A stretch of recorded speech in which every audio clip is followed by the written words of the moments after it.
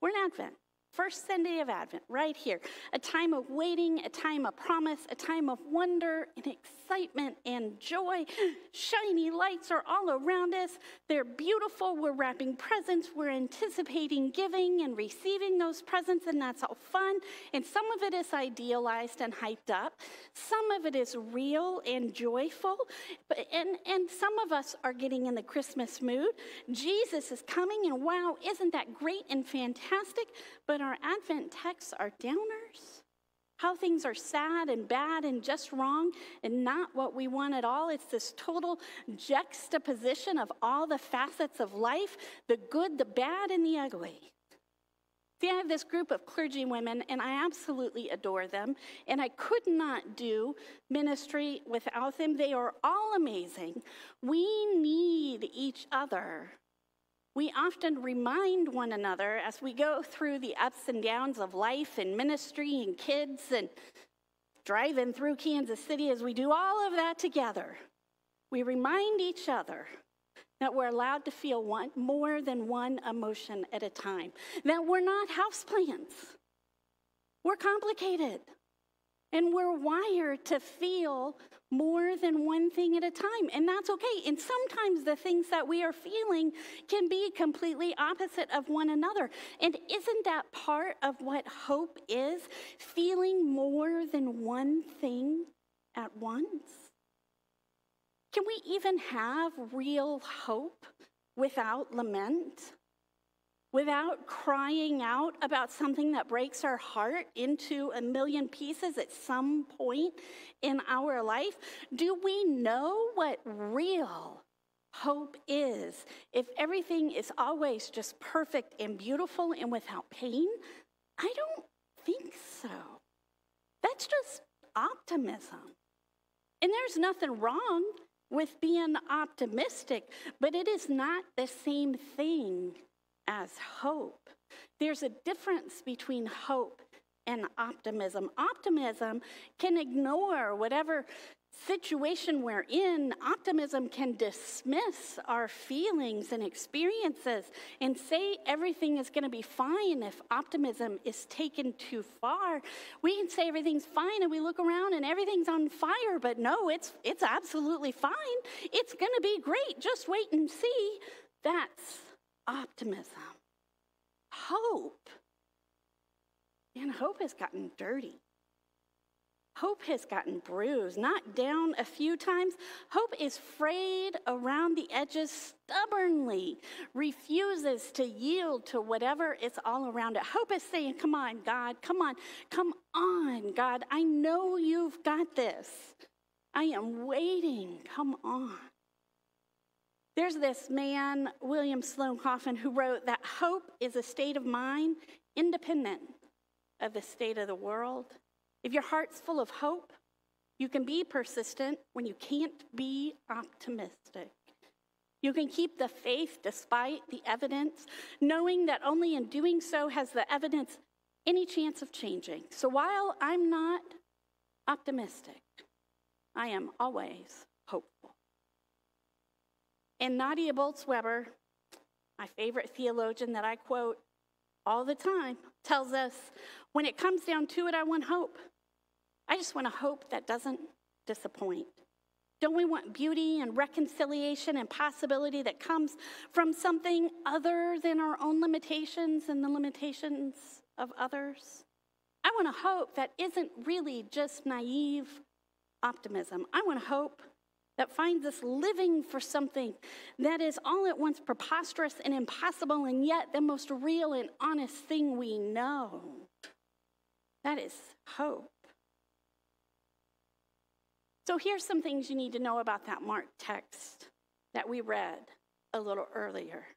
The people who wrote these, the people for whom they were written in Mark, the time that it was written, they were either in the midst of or written just after Rome had come in and decimated their temple and destroyed their city.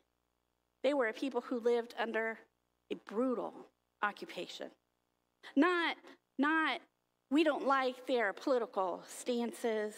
Nah, we don't, we don't like what they've done or what they say or what they're trying to do in our political climate. Not, we think our side is going to do a much better job because their side is full of incompetent fools. No. Brutal, horrific, abusive political systems where people were murdered for standing up to the ruling power, crushed into the ground like they were nothing.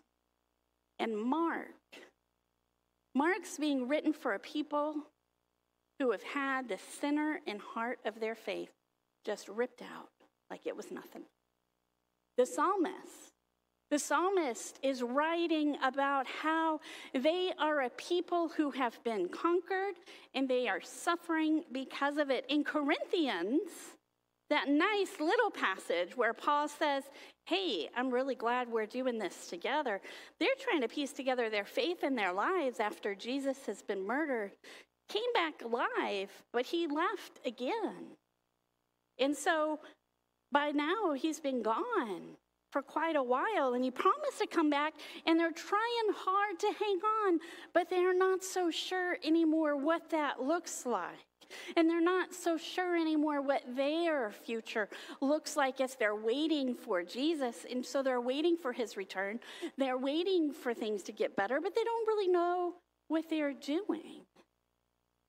Does that sound familiar to anybody? I mean, I think I go through life 99.9% not sure what I'm doing.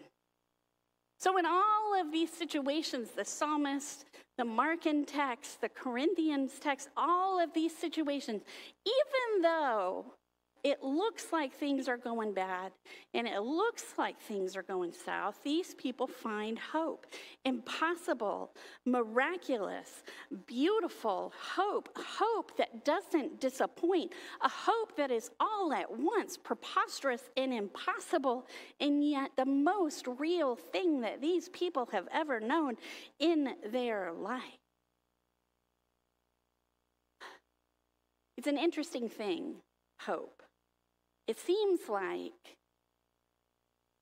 when it is the hardest to maintain, when it's a moment when we are the most desperate for it, when we are at our weakest, hope finds us and pulls us up out of that despair, and we cling to it like the life preserver it is. Now, maybe these texts are a little heavy for a Sunday morning in which we are all starting to get into that magical Christmas spirit that we like to tell ourselves exists, full of good cheer and pretty lights, and a time when we're supposed to be excited and anticipating all the good times and things coming our way, and it is.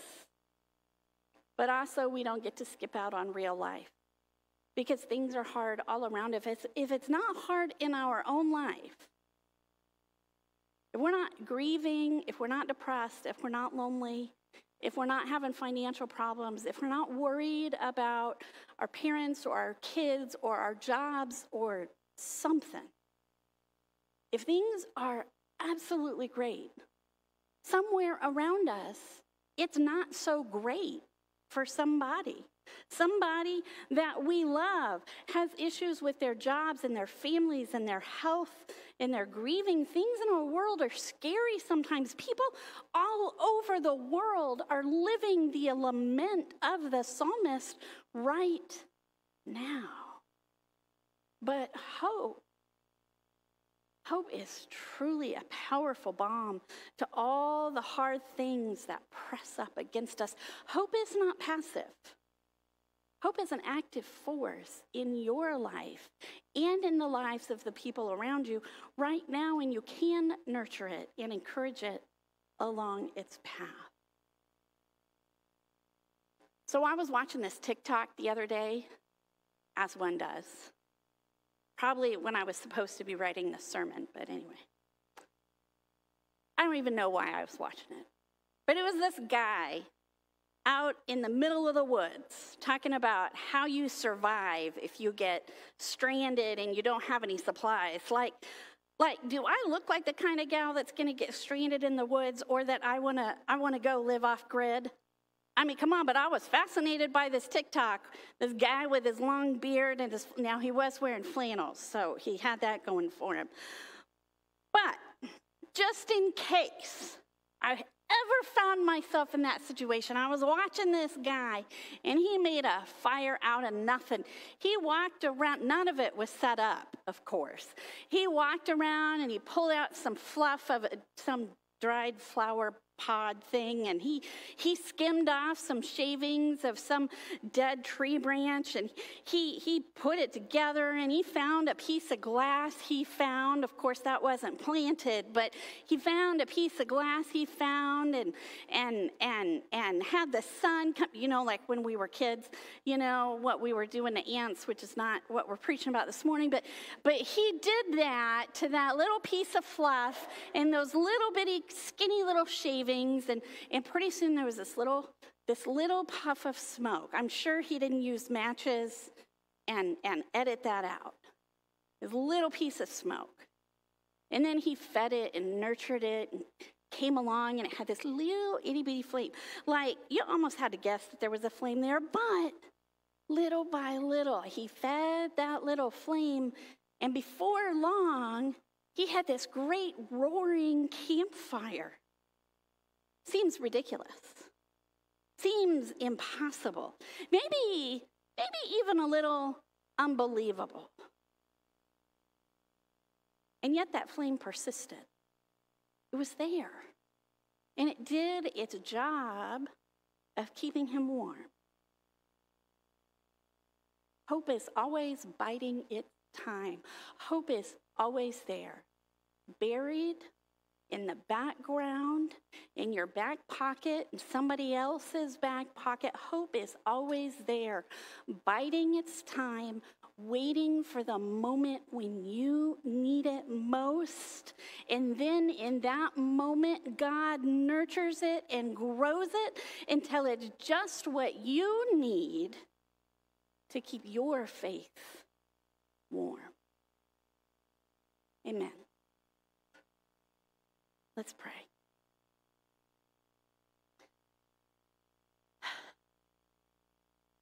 God, we give thanks to you this morning for hope. However, it exists in our lives, if it is there and feels rich and nourished and, and abundant, or if it's just this tiny smokeless flame just, just starting out, we know that it's there and we are grateful for it.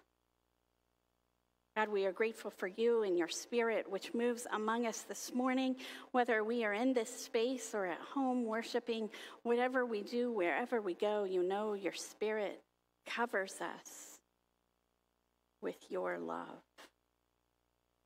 And so we come to you this morning, we lift up all of those who feel hopeless and ask that you cover them with all the hope that they need. Help us to know your love. Help us to share your love with those who, who are in need of it, God. Bless us in our lives and our hearts as we go about being faithful to you in all the ways that we need. Amen.